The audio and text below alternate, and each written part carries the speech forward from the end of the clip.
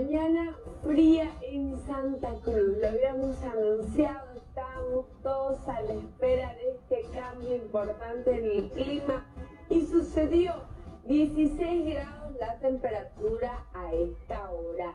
15 grados hemos tenido en la madrugada. Hoy la máxima solo llegará a los 20 grados. Así que abríguense porque todo el día vamos a sentir frío con vientos del sureste que van a superar los 10 kilómetros por hora.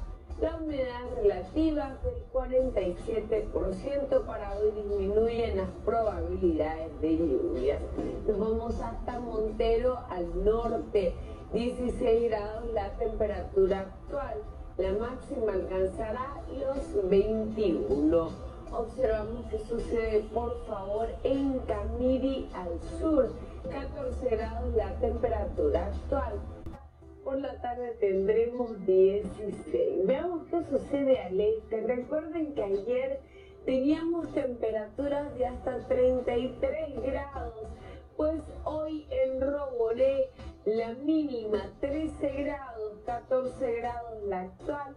La máxima será de 10 tendremos una, tendremos 17 grados como máxima. Miren por favor este coro en Puerto Suárez.